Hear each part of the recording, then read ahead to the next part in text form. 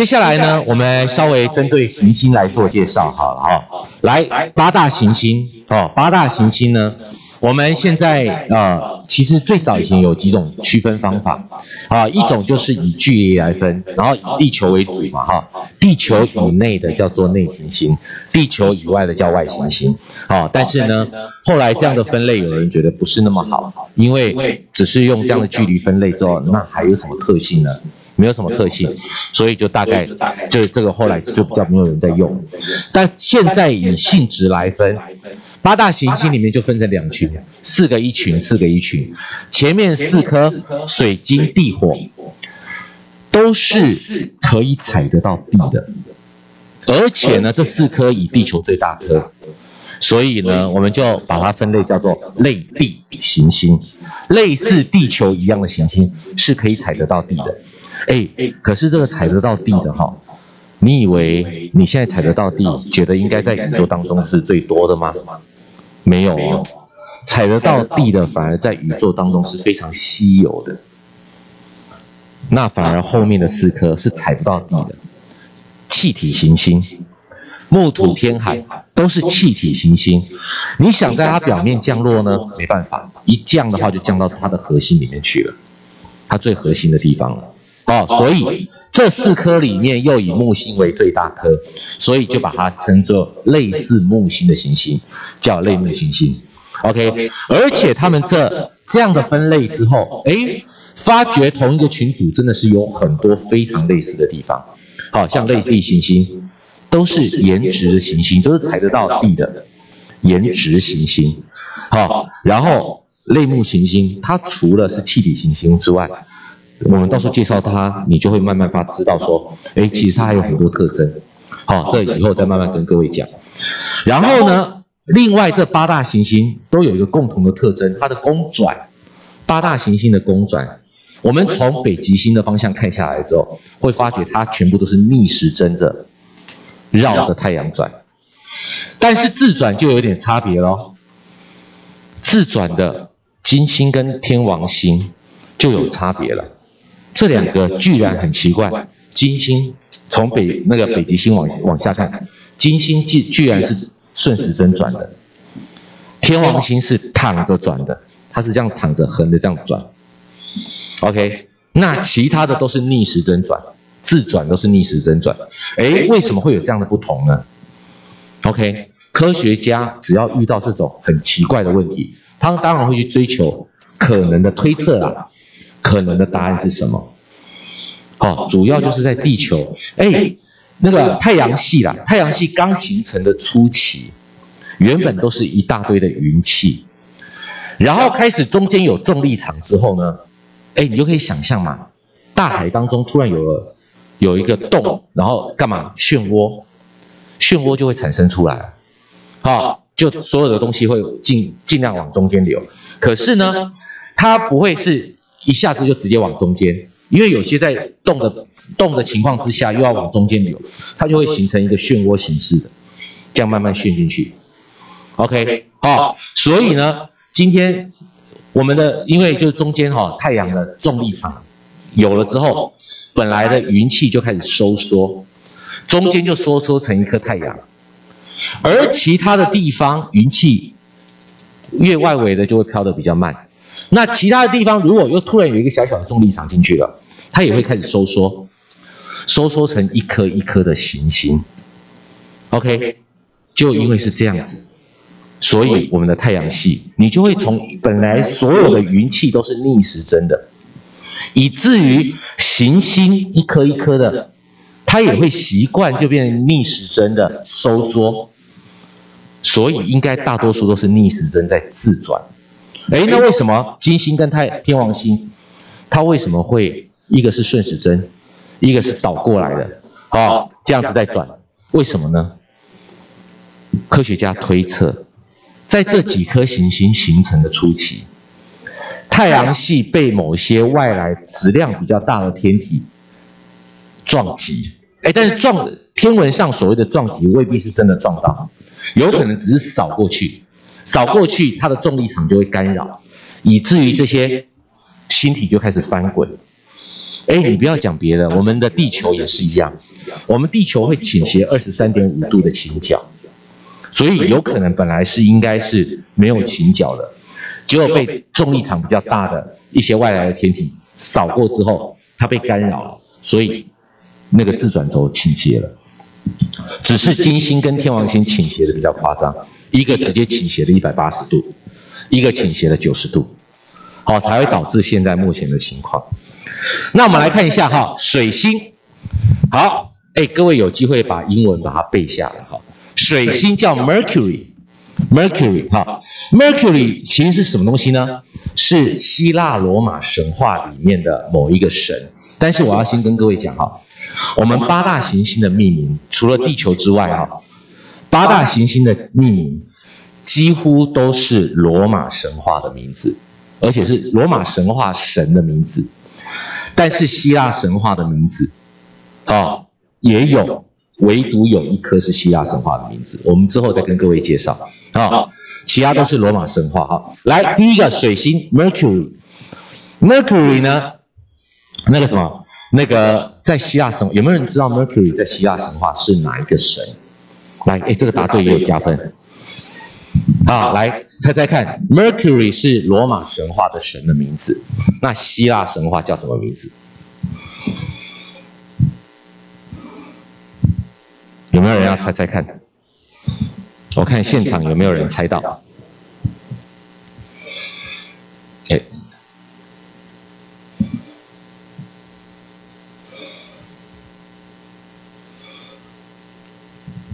有没有人猜到？来，有人要答后面啊？嗨，赫赫赫赫米斯哦，赫米斯，OK，哦，在线上没有人答哈，没有人答，现在我我看到没有人答，就不要再答了哈。OK，希腊神话叫赫米斯，赫米斯哈，或者是有人会把它翻成汉米斯了哈。OK，那。罗马神话叫 Mercury，Mercury 是什么呢？在罗马神话里面是那个什么，专门给各神送讯息或送信的，因为他跑得很快，哦，哎，他也不辜负这个名字哦。水星，它因为是绕地球，呃呃，绕绕太阳最近的那一颗行星，所以它的速度非常快，真的是比较快，啊，比较快。然后呢，来，它距离太阳零点三九 AU，零点三九 AU。好，我说过我要问各位的，请问 AU 谁要讲一下 AU 它的定义是什么？大概一句话，可能十个字左右，但是有些关键字必须要讲到。好，现场有没有人要回答的？然后线上我看一下有没有人答对的。什么叫 AU？啊？呃不，你我要说它的定义，不是说它的值是多少。来来，后面这边先。啊？那定义是什么？它它的它只这个是单位而已，你只讲单位。我们先这边。好，答对了。好，线上线上，呃，我还没那个，可能学那个现场同学讲的答案，线上还没。好，OK，哦，范同学跟方同学也都讲对了。地球到呃与，也就是地球绕太阳的平均距离，OK，它的定义是这样子的。我不是我不是问单位，不是问那个什么，问它多少，它的数值是多少？哦，我说它的定义。哦，所以之前都有跟各位讲过，我要我要问这个东西哈。所以呢，当然刚才有人讲出来了哈，AU 就是一亿五千万公里。好，平均是一亿五千万公里哈，但是这个数值其实一亿四千万多多多多多，我们还是稍微用整数化，一亿五千万公里。所以像水星距离太阳是零点三九 AU，你就可以大致乘嘛，弄零点四去乘哈，零点四乘以一亿五千万，就大概是六千公里。OK，好，然后呢，哎，你想说水星靠近太，距离太阳最近？所以它是最热的，错。八大行星里面最热的天体不是水星，而是金星。为什么？待会再来讲。来，所以呢，它从最高温是四百二十七度，最低温负一百七十三度。哎，哇，它怎么？它靠它不是很靠近太阳吗？为什么还会有到零下一百七十三度呢？为什么呢？因为它有它那个什么，它在太阳的背面就很冷。哎，为什么整颗都这么靠近太阳？难道不会被晒到整个都很发烫吗？没有哦。第一个重点是它没有大气层的保护，所以热气很容易散逸掉。好，没有被太阳照射的那个那一方，它的温度就很容易散逸掉，然后就降到很低。哎，那这难道这个星球不会转吗？会哦，星球会转。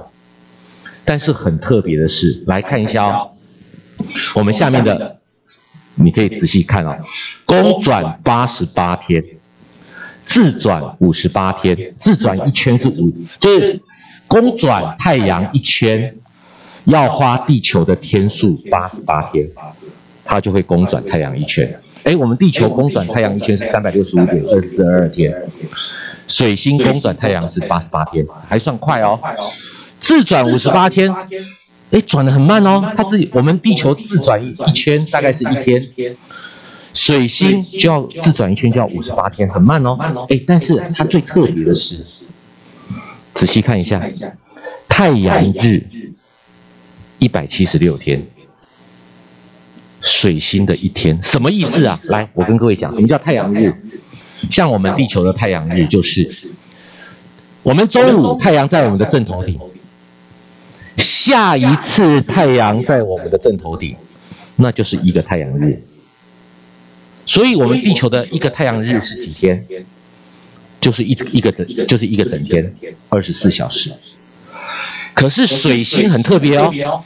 今天太阳在我的正头顶，如果你真的有有有有机会住在水星上，今天太阳在我的正头顶，到下一次到我的正头顶的时间，地球要过一百七十六天，才是这样一个整天。哎，等下你就会觉得很奇怪，公转八十八天不是算一年吗？太阳同同样出现在我的正头正头顶是要一百七十六天，代表你在水星过一天，已经在水星过了两年。哎，怎么有这回事啊？来，我要我我直接用画图的给各位看。好，因为这有点难解释，所以我要画图给各位看。然后线上的我先转成我的镜头。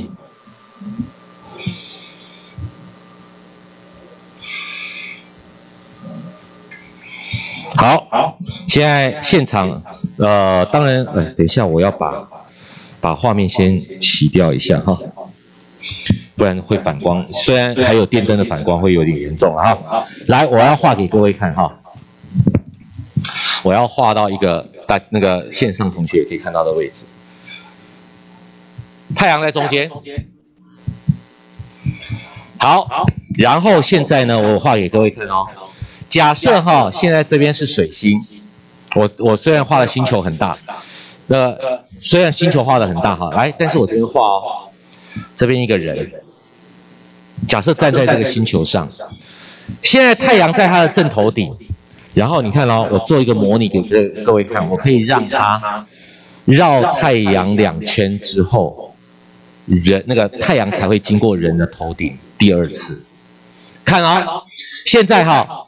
呃，你可以，我稍微用反差放在这个这样子啊，我用，哦，反差的那个什么，差的那个那个差的那个那个差的地方是朝上的，就代表人站在草坪上的感觉，你可以这样想。然后他自己自转的同时，他也要公转。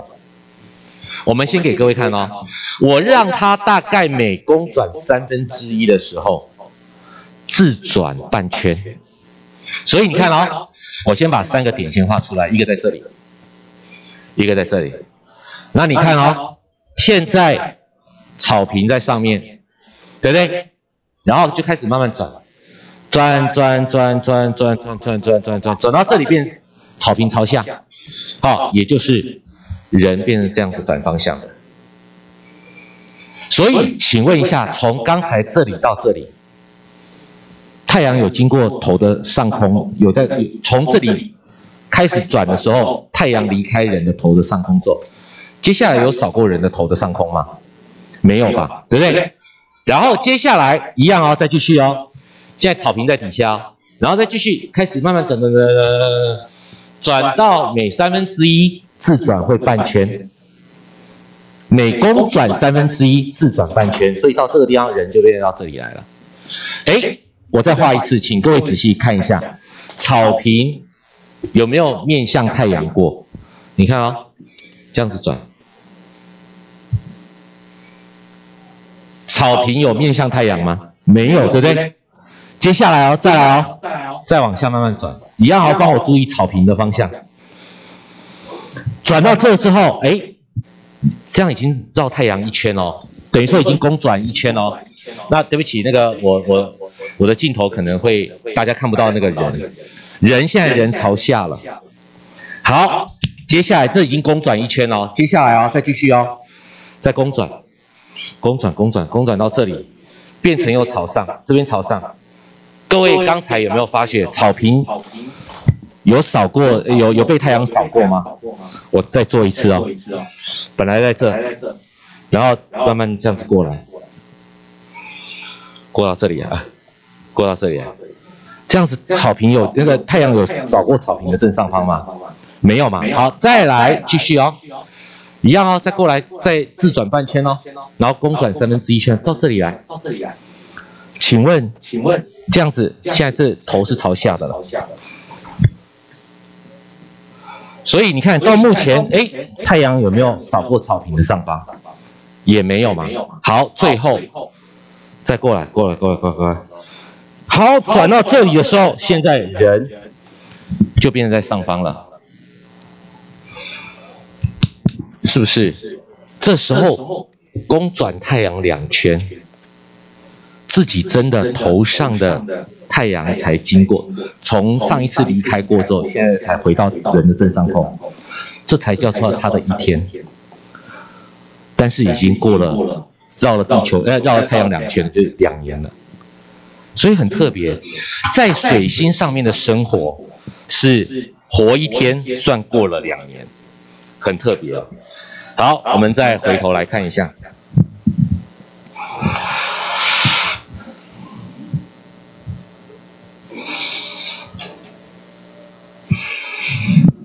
好，那。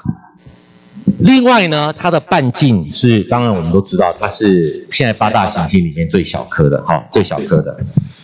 诶，画面还没出来，对，对不起啊，投影机，呃，现场的同学投影机比较慢一点，到现在还慢慢会亮掉，有慢慢亮起来了，哈。但是现场的同学，呃，那个线上同学还可以看到字，我就顺便讲哈，它的半径是八大行星里面最小的，半径是两千四百四十公里，而且呢，目前没有大气层。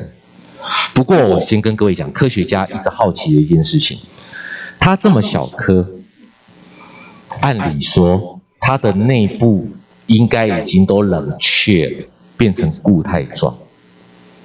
但是呢，太那个天那个什么那个有它发射的卫星飞到水星上头之后，居然还可以测到水星还有磁场。哎。地球的磁场是怎么来的？是因为我们地球里面有熔融的岩浆，这熔融的岩浆里面是有含铁的，铁的流流动就造成了磁场。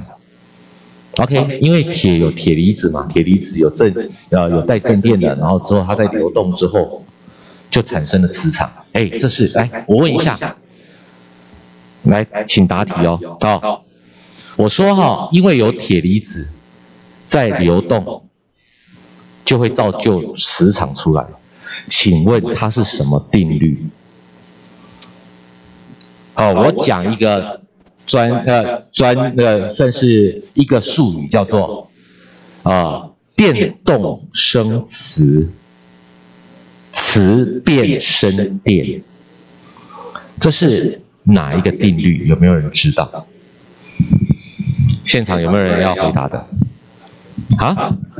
安培不是，不是，啊？也不是冷次，三个字，什么什么什么定律？也不是。还有人答吗？啊，电动生磁，磁变生电，是一个很有名的科学家的名字。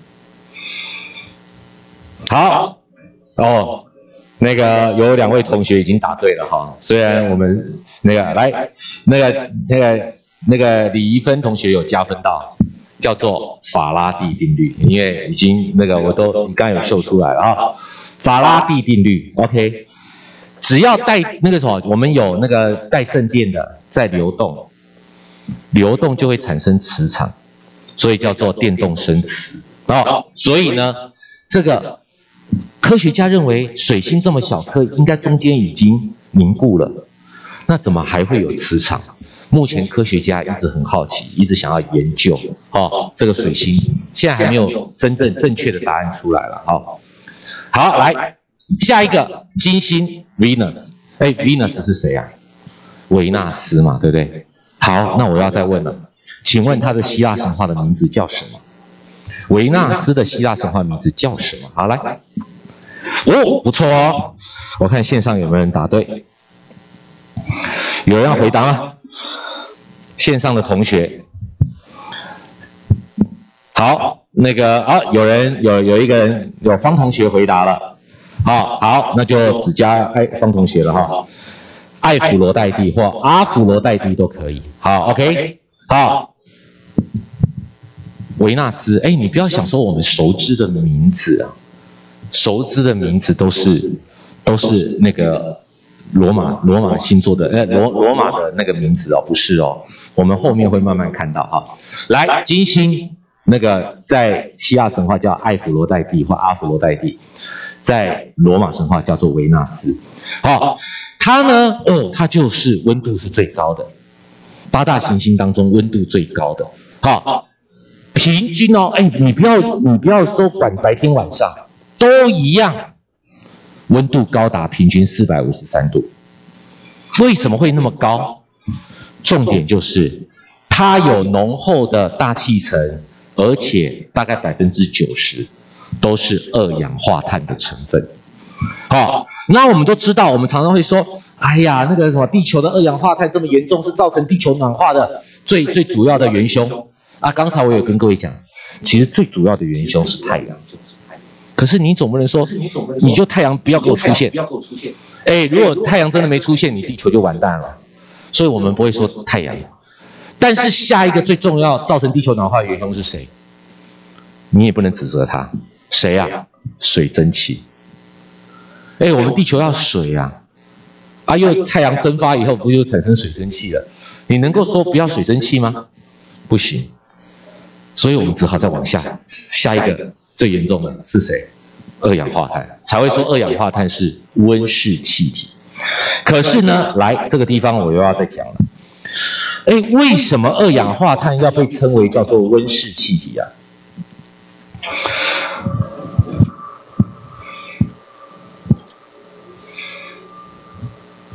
好，又要来做解释了哈。温室我们都知道哈，什么叫温室？就是我们呃要培养一些。呃，植物啊啊，但是有时候在冬天的时候太冷啊，啊，温室的话可以让这个房间里面恒就温度比较保持一定的温度，不会太冷。OK，所以一般来讲，温室常常会建了一个透明的玻璃屋，通常是建透明的玻璃屋。为什么？好，第一那个什么太阳，我先问一下，太阳它会发生，它会发光发热吗？请问它用什么的方式把热传到地球上？热从太阳的表面离开之后，它用什么方式传导到地球上？这应该一个很好的、很很简单的回答问题。有谁要回答？你要回答。太阳是用什么方式把热传到地球上？答对了。OK，线上有没有人回答到？同啊好好，OK 好，方同学、李同学哦，都真的很认真，都有在那个哈。重点就是辐射。好，因为为什么？宇宙之间是真空的啊！哎，我怎么写成？宇宙之间是真空的，根本就没有介质可以传导啊！所以今天太阳是靠辐射把热带到地球上。好，好之后呢，太阳也会那个太阳光也会透过玻璃屋照射到这个温室里面。那很多植物啊，好，或者是甚至那个什么呃桌子啊，你放在里面的桌子啊，或者是工具啊，也会被太阳晒得热热的。哎，但是所有的东西不可能永远一直吸热啊。OK，就算你人走进去。你在那边待一待，哦，越来越热，越来越热，难道人就会温度升高到不行，然后就烧掉吗？因为一直加热啊，所以人也会放热，植物也会放热，非生命体也会放热。我请问各位，本来太阳用辐射的方式把热带到我们一些人身上。或者是植物的身上，当我们吸热之后，我们会转化成另外一种什么什么样的光出去？有人要回答吗？我们人吸热之后，我们会转化另外一种能量出去，那主要是什么光？有人知道吗？我看现场那个线上已经有一位同学已经答对了，啊，谁要来？呃，现场有没有人要回答的？我们人一旦被照射之后，我们会转化成一个东西，转那个把热传出去。没有人要回答吗？那我就给各位看线上同学的回答，有没有人要回答？啊，来你说。啊啊射线，那大家就完蛋了。我我走在我那个我被太阳晒一晒，你走到我旁边，你会被 X 光照射到。紫外光哦，那紫外光也很危险哎。紫外线也是一样，哎，我走到各位身边就可以杀菌，你们就会被杀菌了吗？如果我在外面太阳晒一晒之后，我走到各位身边，现在各位就不用担心担心那个新冠肺炎，你们就会被我的紫外光杀菌了。反围中是不是？不是不是。对，红外线，OK，哎，你怎怎么会想到？哎，你看，有人说电磁辐射也都不对哈。哦，范同学跟李同学答对了，就是红外线。我们怎么可能人吸吸之后，那那个被太阳光照射之后，然后就会就会发射紫外紫外线出去啊？那你我现在不是那个新冠肺炎，不是有时候都可以用紫紫外线去杀菌吗？那到时候大家，那我去外面晒一晒太阳，我可以走在各位之间了。走在之间，各位不用担心那个。不是啊，红外线呐，哎，各位都知道吗？我们在打仗，那个有那个什么，有当我们各位现在没有经历打仗的时间，但是各位都知道，有时候打仗不是会戴一个红外线的眼镜，在晚上夜间出席的时候，开飞机的人他可以看到那个陆地上，如果看到有那种红的光在动。那就是可能是人发出来的，或者是建筑物，它太阳那个白天晒了之后，它一样会放出紫那个红外红外线出来，它就可以看得到，不用不用任不用可见光，我们用红外线去侦测就可以了。哎，所以有些人侦有有些人测试是什么呢？有机会哈，如果哎，我们我们先先讲一个平常的啦，各位进出入境。这个机场的时候，你们入境某一个国家机场的时候，你有没有发觉你要经过一个地方，有一个摄影机在照你？哎，也不要讲别的，最近很多人常常要出入某些场所要测温度，你不觉得说有些人，尤其像你到医院的时候，你就会看到有一个人坐在一个电脑前面，你经过他，你可以稍微看到他的荧幕是什么？他荧幕就是在照射人呐，啊，照是在侦测什么东西？侦测红外线。当如果你的温度很高的时候，你那个那个什么人的那个红的那个那个那个亮度会非常的亮，但是我们眼睛看不到，红外线是眼睛看不到的，它是透过仪器侦测之后把它显现出来的。OK OK，哎，所以哈，教各位一个小经验哈，如果以后你们出入境啊入境的时候，糟糕，我有点发烧哎，可是到时候入境又被拦下来怎么办？教各位一个技巧，你可以拿一个透明的，看是塑呃透明的塑胶片，或者是玻璃片，都可以挡红外线。你就把它透明的玻璃或者透明的那个什么拿在你你就就留到一个方的，你就拿在你的脸前面，然后走过去。好，但是先跟各位讲，你还是会被拦下来。为什么？你拿着透明的这个，在在大家看你的脸是正常的，但是透看到机器会变成什么？机器你的脸上面会是一个矩形的黑色的东西，因为你的光透不过去，以至于那个红外线侦测仪器会侦测不到，所以中那个你那个你那个形状是矩形的，你就是一个矩形的，上面是颈部以上是一个矩形的黑黑的。OK，好，有兴趣可以玩玩看哈，这个红外线侦测的是蛮有趣的。所以来，哎，对不起，所以我们来看一下哈，刚才我要我要呈现的是这个，所以呢，它红外线反射，就就是说到时候所有的那个生物或非生物吸了太阳热之后，就会以红外线的方式反射出去。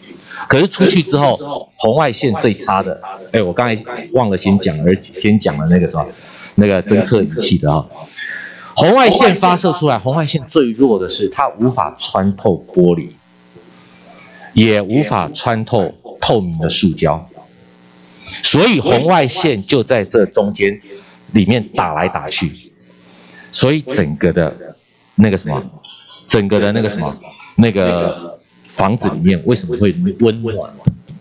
就是因为这个太阳的辐射进来之后，但是我们人转成了红外线发射出去之后，却穿不透玻璃，可以吗？哎，结果刚才大家都答不出来，你们不，你们没有把 Moodle 的题目拿出来看哦。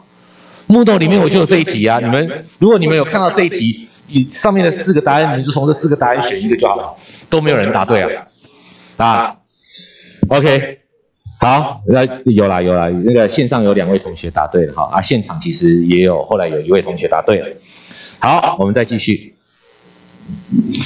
好，所以呢，啊，这边等一下哈。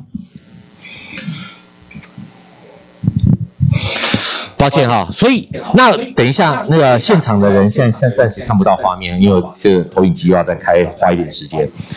那我现在先口头说一下哈，所以呢，这个这个为什么金星现在是八大行星里面温度最高的，而且不分昼夜，它的平均温度就是四百五十多度，因为就算不被太阳照射的那一面，一样还是被二氧化碳的温室效应给保护着。所以八大行星里面温度最高的是火星，呃，不是金星。好，然后呢，后来再来看哦，它的大气压力是地球的九十倍，九十倍多大呀？相当于哎，我上次有跟各位提过了，不知道各位还记不记得？我曾经在某一堂课有有稍微提过。我们如果有潜水的话，大概潜多深会增加一大气压？有没有人还记得？好，十什么？OK，答对了，好，不错哦。我们每下潜十公尺，会外围会增加一大气压。所以你想想看，哦，地球的九十倍，已经深到九九百公尺的海底了。哦，九百公尺深的地方，你才会感受到外围是现在的大气压的九十倍，压压力很大的。哎，所以如果你再潜更深，然后那个外界压力，像你说潜水艇哦，有时候潜水艇不能潜到太深，太深的话会被大那个那个水压压压扁了。哦哦，所以这个大气压力是地球的九十倍，哇，很很很深诶，很重诶。所以你知道吗？之前最早发射太空船。到金星上面的是谁？俄罗斯。他们发射上去之后呢，进入大气层之后，没多久这个卫星就失去消息。为什么呢？其实有两个可能的因素，一个是它的云层中有带有会腐蚀的硫酸滴，这是一个。但是也因为有这个硫酸滴，所以它反射太阳光非常的强烈。所以我们看到的八大那个八大行星当中，我们肉眼能够看到最亮的那个行星就是金星了，因为它可以反射的，它可以反射反射的那个太阳光的情况非常比较强烈哈。然后另外它也有可能，刚才我说俄罗斯的太空船，它也有可能下去之后承受不了那个大大气压力而被压扁。OK，好，那另外呢，它公转。二十呃两百二十四天啊，自转两百四十三天。好，唯一比较特别的是，自转跟公转的方向是相反的。好，然后直径距离地球很很，它地球的直径大概是一万两千多公里，一万两千多公里。它稍微小一点，它也有一万大概一万呃一万出头。好，但是还没有到达地球的一万两千公里，所以它曾经有可能认为它。跟地球算是姐妹行星，也可能应该要可以演化成生物的，谁知道他现在反而一直往地狱的方向演演化进去，变成一个一个那个什么一个酷热的一个星球，哦，因为它的本来它的它的大小是跟地球差不多的，大家都认为说它应该也是应该会成为行星的，那成为一个有生命的行星。好，为什么现在变成一个像炼狱一样？好，OK，主要就是大气成分。好，它大气层主要是二氧化碳太多了。哦，温室效应很严重。然后呢，在中国古代，哎，我们还曾经呃，我们有曾经有跟各位讲过一个什么？那个叫做东大距还是西大距？还记得吗？因为哈，金星跟水星都是地球的内行星。所以，我们想要看到金星或水星最好的时机，就是它我们看过去的方向，它距离太阳，它距离太阳，感觉那个角度越大越好。到最大的时候就叫做大距，大距。啊，那有叫东大距跟西大距。好，我们在第一节课有讲到这个东西哦。好，第一节课有些同学没有在场哈。好，我们是线上，我们是线上了，对有些人没有上线。东大距跟西大距。好，那别忘记了，什么时候可以在凌晨太阳还没升上来前的东方天空可以看到金星或水星？那叫做西大距。西大距的时候。我们才可以在东方的天空，在太阳还没升上来之前，在天空上看到水星或金星，这叫西大距。而东大距是在傍晚的西方天空，东大距是在傍晚的西方天空，太阳已经下去了，你还可以看到水星或金星，这叫做在他们在就是水星或金星在东大距的时候。在傍晚的西方天空，哎，有点饶饶舌，而且是有点相反的哈，各位要记住哦。OK，好，这是金星的部分哈。好，我们先到这个地方。